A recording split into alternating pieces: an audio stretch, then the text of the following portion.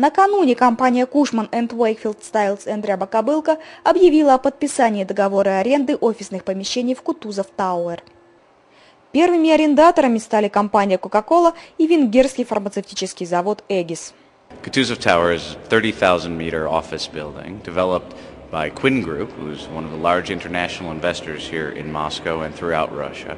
There's 40% worth of property already under commitment, leaving 60% of the building available for occupiers today. The building is state commissioned, it's Class A, it's got mechanized parking, seven lifts, and an efficient floor plate. Новый 20-этажный бизнес-центр расположился на улице Ивана Франко на пересечении Рублевского шоссе и Кутузовского проспекта в престижном районе Кунцево. Это первое приобретение компании в Москве, поэтому оно для нас знаковое. Мы бы хотели, чтобы люди судили о качестве подхода Queen Group к бизнесу на примере этого здания.